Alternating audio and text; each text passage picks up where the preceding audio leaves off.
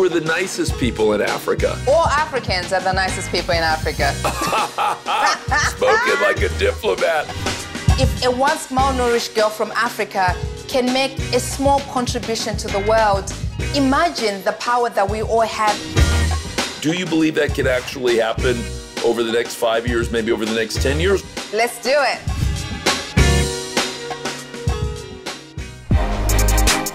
Hey there, welcome back to the show. I'm Carlos Watson. Today you're going to love this show. Going to introduce you to a truly extraordinary woman, truly extraordinary life story. Elizabeth Nyamayaro is an award-winning humanitarian, author, and former UN Women's Senior Advisor. Incredibly humble beginning growing up in Zimbabwe inspired a career of service and activism.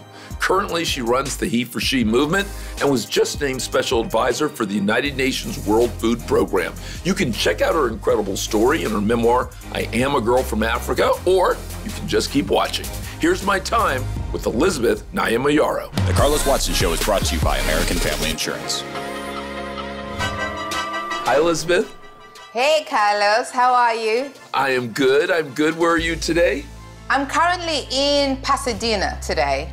Are you a West Coast person? That's a tough question. If I could live in a warm place, it would be in Africa. Now it's time for me to quiz you about the continent. For $1,000, who are the nicest people in Africa? Ah, All Africans are the nicest people in Africa. Spoken like a diplomat. I know a lot of people say that, but it's also quite true. And I also think Zimbabweans are really nice people. I mean, not because I'm from there, but I just think, you know, we're really peace loving people that you can't get anywhere else. Where's the best food? Zimbabwe, my, my, my home country, because I grew up with it. But if you love spicy food and like really creative dishes, then you have to be, you know, somewhere in the Central African Republic. DRC is amazing food. It is just so diverse. You know, you could be eating injera pancakes in Ethiopia, which is completely different to couscous in Morocco, which is completely different to sadza, which is like a maize meal, grits kind of thing for Americans. Where did you grow up within Zim? I grew up in a small village called Goromonzi, and I was raised there by my grandmother.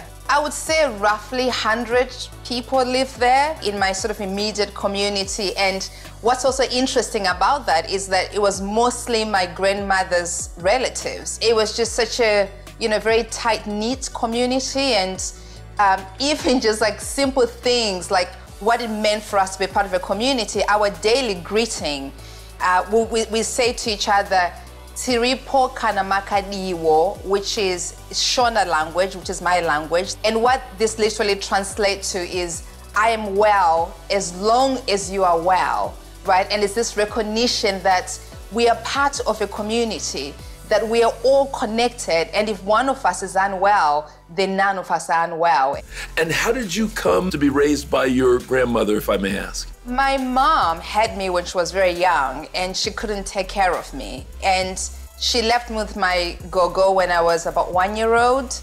And I actually didn't know up until the age of five that my go-go was not my mother, because I thought she was my mother and she had raised me as, as if, you know, she called me her dear child. And so I assumed that she was my mother. And so she had left me with my go-go, who then raised me. And in retrospect, what a beautiful thing. Uh, it was obviously jarring at the age of five finding out that she wasn't my mother because I so wanted it to be my mother. How old were you when you met her? I met her when I was 10 years old. She arrived one day. Gogo and I were in our small round hut. By the way, this is my home. This is literally the hut in which I grew up. We were inside this hut. It was in the middle of another drought. It was so hot outside. And suddenly there was a voice outside. And like we always do in our village, I thought it was just another aunt from another village or even from our village. And I was gleefully asking her to come in. And she walks into this hut and she sits down and she has brought this lovely, you know, goodies from us from the city. I then found out that she was my mother. And she was coming to take me away from my village. She literally dragged me out of the hut and I was crying and I was clinging on to Gogo. And interestingly enough, it was also the beginning of God's greatest miracle for me because that also came with an opportunity to go to school. So, where does a young one go from there? Prior to me meeting it, a lot of things had happened. So, a severe drought hit my village at the age of eight, and literally, there was nothing to eat or drink. And I had my sort of eh, really big moment, a life threatening moment where I actually thought I was going to die. I collapsed on the ground. I hadn't eaten for a few days. And in this moment, just the most incredible miracle happened. This African girl who worked for the United Nations found me and she gave me a bowl of porridge that literally saved my life. And when I actually found out who she was, that was the moment that sparked my dream to become a humanitarian, by the way. And I remember thinking, I just want to be like her, right? Because I too want to save the lives of others in a similar way that my life had been saved. What kind of a student, what kind of teenager did you turn into? When you grow up without education and then you get it, and you see what it's able to do for you. I was very, still very inquisitive, you know, I was curious about the world, not only the world around me, but because education had expanded my horizon, I became also interested about other parts of the world. In my teens, all I was determined to do was to try and make it out of Africa and go to the UK and try and work for the United Nations.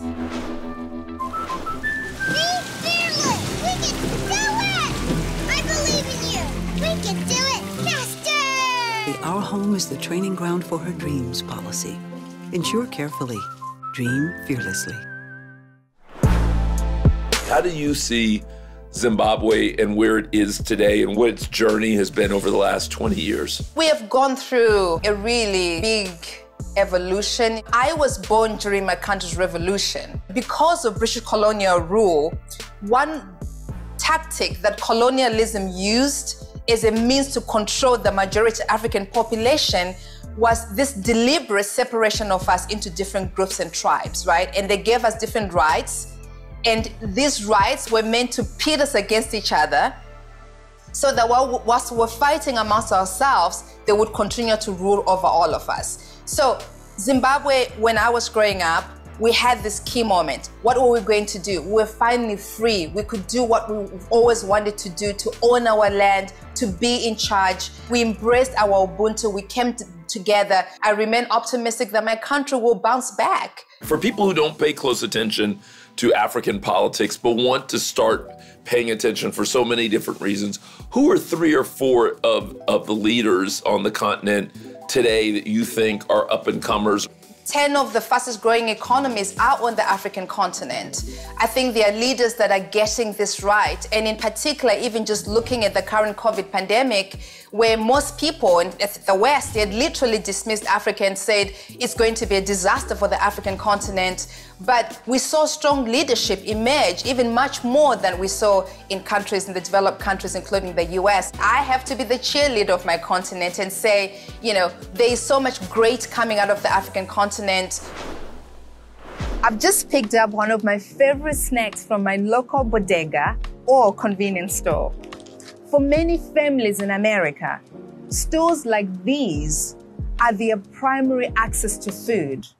Unfortunately, these stores rarely sell fresh produce, leaving communities only able to access highly processed food that is full of preservatives and empty calories, leaving communities stranded in what is commonly known as food deserts. Elizabeth, how do you think about um, the question of hunger? I know you've been spending a lot of time about on that as a professional. Hunger is still the number one cause of death in the world. Every five seconds, a child dies from hunger. And yet, here's the reality. We actually, as a society, grow enough food to feed everyone. Right now, there's at least 700 million people who go to bed hungry every single night. And that number in the US, we also know the Biden administration just did a, a, study. I think one in nine American families don't even know where their next meal is going to come from. And yet, we're also at the same time wasting enough food. We're throwing away enough food to feed 2 billion people, which is like double the amount of people that are going hungry. In the US, roughly 40% of the food we produce never gets eaten. That's over 365 million pounds of food each day. So it is fundamentally an issue of inequality when we talk about hunger. Well, why do you think that is? It all comes down to power. Who is making the decision, right? Who has the power? How do they use the power? to make decisions and in, in what way and for whose benefit. Our governments do not have the diversity that they need in order to make decisions that reflect the needs of the underserved communities. It's important to point out that before the pandemic, the world wasn't equal anyway. We live in a society right now where more than 730 million people globally live on less than $2 a day. When it comes to hunger, you know, the issue was still dire, but it's become even more because of the current COVID pandemic.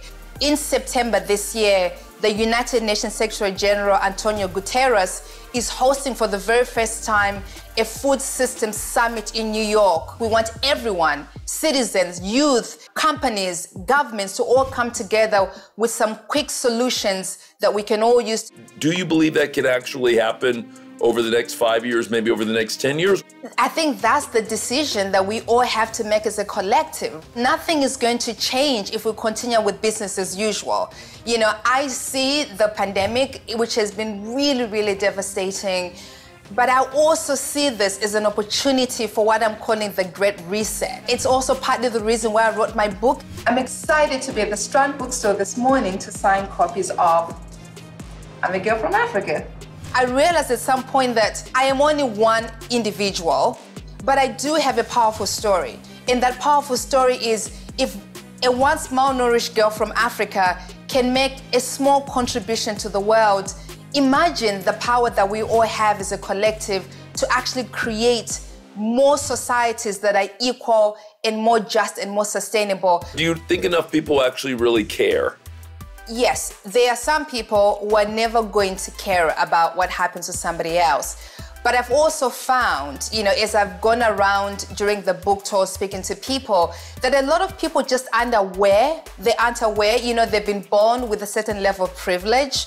They live again in a bubble within their own community, and they aren't aware of the issues impacting uh, other people. In, in some cases, they don't even know that they can play a role in that. And so part of the work, you know, for us as humanitarians is to actually try and raise that awareness. This pandemic, as devastating as it has, it has now shown people what we as Africans have always known, that we are connected by our shared humanity. That what impacts one part of the world can indeed impact all of us. That as long as I am unwell, then none of us are unwell the weapon of rape, accusations against soldiers and rebels of women being targeted for violence in the Democratic Republic of Congo. Let me take you somewhere else in the continent, if I may. I've always been taken a little bit heartbroken in many ways by what's happened in the Congo. Mm. Have you spent time in the Congo and what have you learned about that at all? It is devastating. I mean, as a gender expert, you know, we've spent a lot of time trying to look for ways to solve the issue. When we look at countries like the Congo as well, we have to understand that in addition to what is happening on a day to day basis, there are major, major legacies of colonial policies that have constantly and up until today continuously tried to divide people. But the issue of race is really an issue of gender inequality, right? One of the big things that I, I, implemented when I was at the United Nations, uh, the UN Women, when I was working on gender specifically, was launching this movement called the He for She movement, which invited men and boys to be part of the solution. Because I realized at some point that it was quite unfair that we put all the responsibility on women and girls not to get raped rather than actually just engage the men who are raping the women to not rape the women. To my surprise, to my colleagues' surprise, I think initially there was a bit of hesitation that First of all, it was controversial because some traditional feminists said, Why are you engaging men? They're the problem. Uh, and then there was also the other voices that said, Men won't care about this thing, they just won't join. And to our surprise, we launched this He for She movement, and literally within three days, at least one man in every single country in the world had joined He for She. I am a He for She. I am a He for She. I am a He for She. We are He for She. And within that one week, there was 1.2 billion, billion, not million, conversations for men around the world.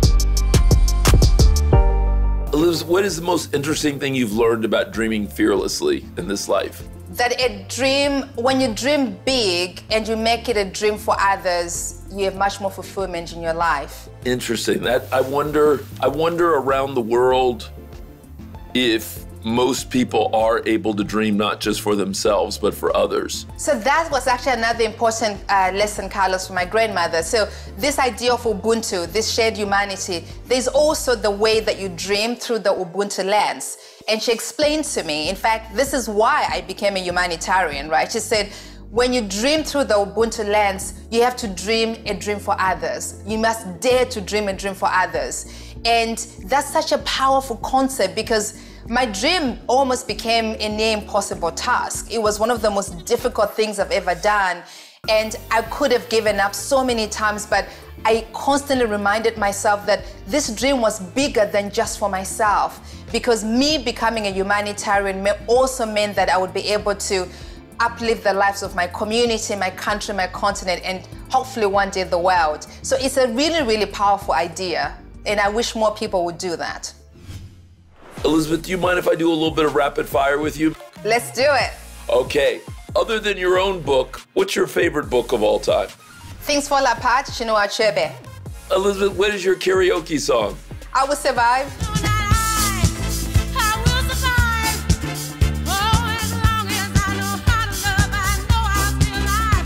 I love that, Gloria Gaynor. If you could have dinner with anyone, dead or alive, who would you love to have dinner with? Nelson Mandela. Biggest mistake you feel like you've ever made in this life? Doubting God's intent. Most interesting thing you've learned about love? It's the most powerful feeling and emotion you can ever experience. What brings you peace? My family. When was the last time you were afraid? COVID pandemic, beginning of it. What two African countries should we keep an eye on? Ghana and Zimbabwe. Elizabeth, I'm going to leave it there, but thank you so much for, uh, for joining me. I appreciate that. Thank you so much, Carlos. This was really lovely, and uh, I hope I can see you in person someday in the future when things open up. I would love that. I thought she was amazing. I actually went home and talked to my partner about it. I thought it was just a great story about her coming up. It was just very emotional. Yeah, but she brought a lot of sunshine. I think so too. She was bright and energetic. I think she's just very happy that she is in the place that she's at and can do the work that she's always wanted to do, right? That was beautiful. She was so warm. Her presence just came through the screen. I just loved that. Her journey is just so incredible. Story about her grandma. She was surrounded by love, you know, and then to get pulled into this place that she didn't know anyone. She didn't have any of that love that she was so used to, but she was able to get education. And so I just feel like this amazing lesson there about seeing the joy around you, but also understanding that a different circumstance could also be really good for you. I thoroughly enjoyed her, and I actually knew nothing about her. I'm definitely going to read her book. The word responsibility really resonates right now responsibility within society and how, especially people of color who are successful, have this great sense of responsibility for the people coming behind them. I'm so in awe of it. And I think that's what we all need to be doing. It's that paying it forward. And I'm so inspired by her and so many other people we've talked to lately. Hey, hope you enjoyed Elizabeth Nyamayaro. Uh, what a fantastic person. What an intriguing story. God bless her grandmother and so many other good people who've believed in her, who've loved her, who've helped elevate her. And I'm looking forward to what she continues to do for the rest of us and the rest of the world. All right, as always, thank you for watching the show. We'll see you again every weekday right here on The Carlos Watson Show. It's still the night shift, just brighter. Still a night out? But everything fits in. Chevrolet, making life's journey just better.